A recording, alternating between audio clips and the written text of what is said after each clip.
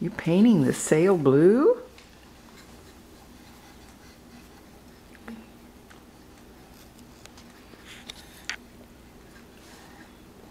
Boy, he's on his second sail already, Grandpa.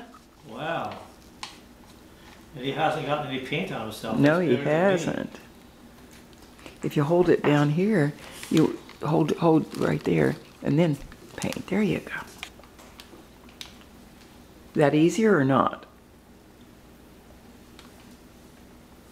If that doesn't work better, you do it your way, okay? There you go. Isn't that pretty? Grandma, do what? You I- go in the living room. okay. Well, Grandma wanted to take a picture of you